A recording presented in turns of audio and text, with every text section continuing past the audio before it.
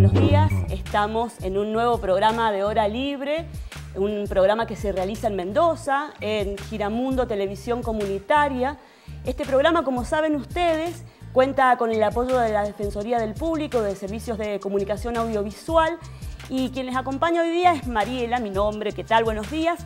Y estamos en un nuevo programa hecho con chicas, chicos y adolescentes de colegios de Mendoza. En esta ocasión del colegio Alberto Schweitzer que los tenemos a todos aquí presentes, se van a ir presentando ellos, vienen a conversar sobre las actividades que realizan en el colegio y sobre algunas otras que hemos programado, trabajos que han hecho todos durante el cursado.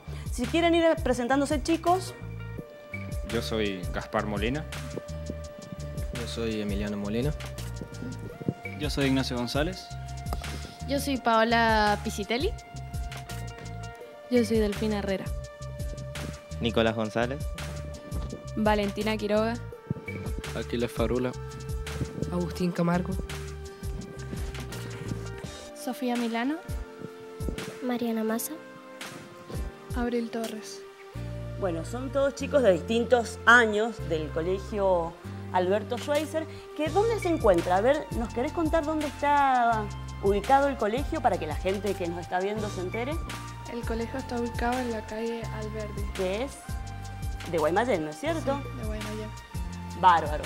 Bueno, en este primer bloque eh, la escuela nos va a contar, eh, este bloque lo llamamos nosotros un lugar en mi escuela, pero los chicos han elegido hablar de proyectos solidarios que realizan eh, desde el colegio y el trabajo que hacen con distintas instituciones hacia afuera.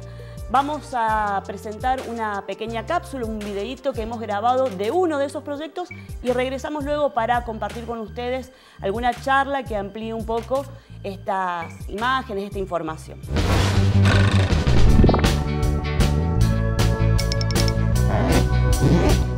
Mi nombre es Kiara Deco, soy del Colegio Alberto Schweitzer.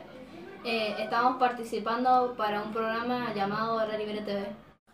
¿Cuál es el nombre del proyecto solidario? El nombre del proyecto solidario es Por una sonrisa. ¿Quiénes fueron los destinatarios? Los destinatarios fueron los alumnos del nivel secundario del turno mañana con destino al Centro de Apoyo Educativo San Sebastián en el barrio Ligüe. ¿Quiénes fueron los protagonistas? Los protagonistas fueron los alumnos de segundo año y tercer año. ¿Qué actividades se realizaron? Eh, realizamos una recaudación de dinero mediante rifas y venta de cosas dulces eh, para materiales de construcciones del centro y el festejo del Día del Niño. ¿Qué es ser solidario para vos? Y para mí ser solidario es ayudar a los demás sin recibir nada a cambio. Para mí ser solidario es un gesto de compasión y ayuda incondicional. Ser solidario para mí es ponerse en el lugar del otro y saber lo que está pasando. Ser solidario para mí es ayudar a las personas con necesidad. Para mí ser solidario es que no te obliguen a hacerlo si no lo haces del corazón, a esas personas que lo necesitan. Es donar cosas que realmente ya no necesitamos. Ser solidario para mí es pensar en los demás y no solo en uno mismo. Ser solidario para mí es comprender la situación de las personas con necesidad y ayudarlas física y mentalmente. Al realizar el proyecto, ¿te permitió mejorar en la escuela?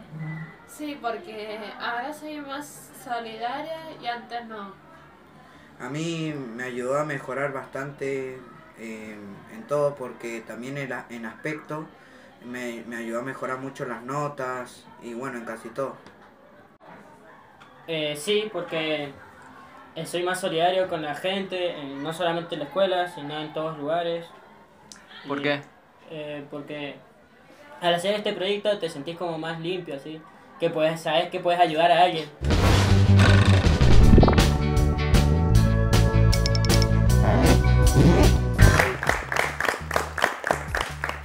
Bueno, y ahí veíamos entonces un lugar en mi escuela.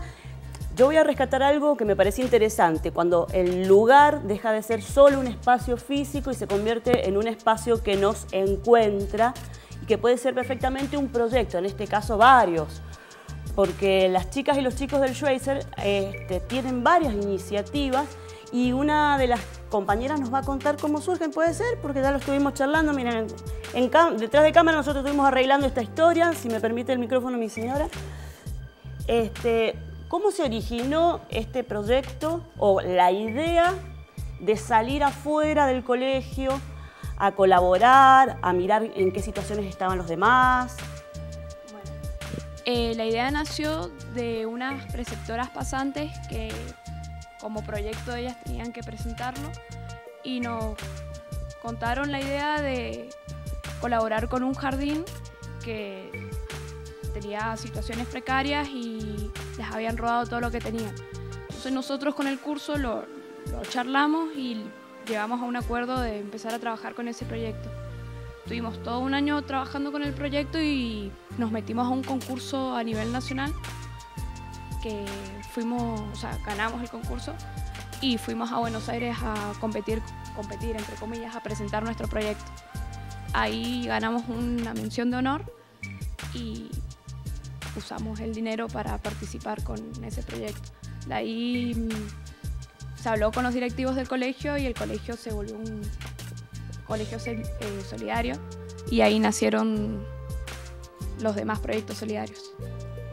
¿Qué, ¿Qué, piensan de esto de cuando aparece el otro en la vida de ustedes? ¿no? Porque dentro del colegio tenemos una comunidad donde nos conocemos, más o menos sabemos quiénes somos, pero ¿qué pasa cuando el colegio abre la ventana, abre la puerta y aparece el otro?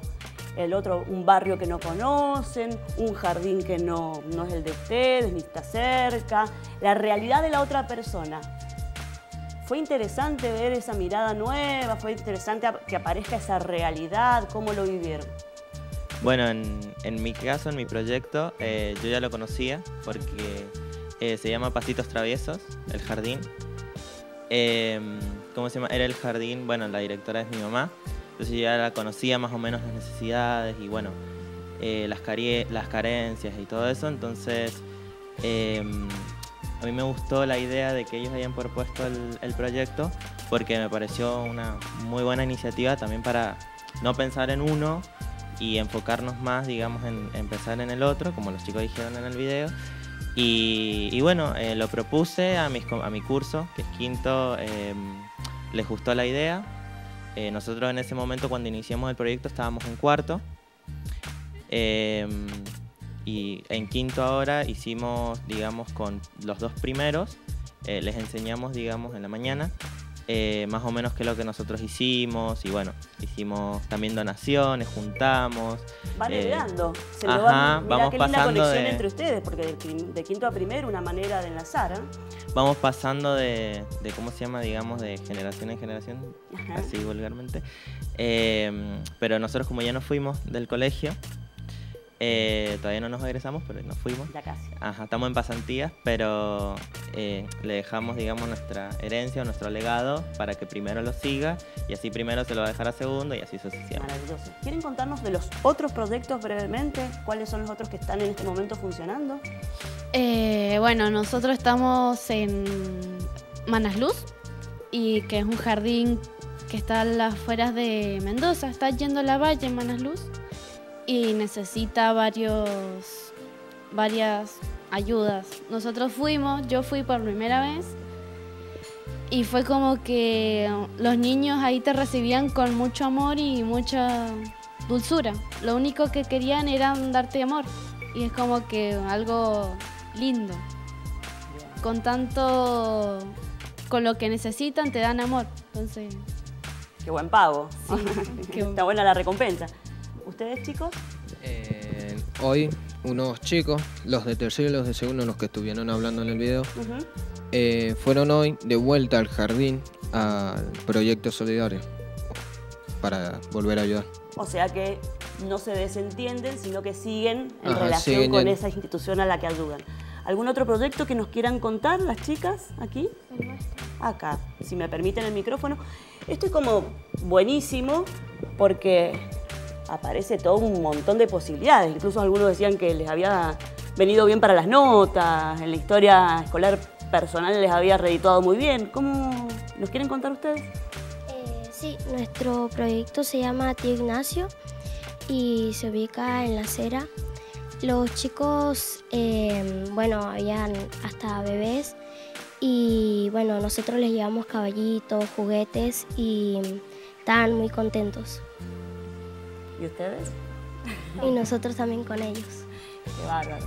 Bueno, entonces el colegio se ha convertido en un colegio solidario a partir de esta iniciativa. La verdad, para aplaudir. Felicitaciones chicos, la verdad muy lindo. Muchas gracias. Vamos a un cortecito y eh, volvemos luego con un segundo bloque.